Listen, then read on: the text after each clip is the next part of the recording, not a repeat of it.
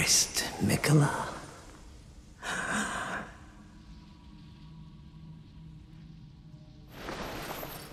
You must abide alone a while.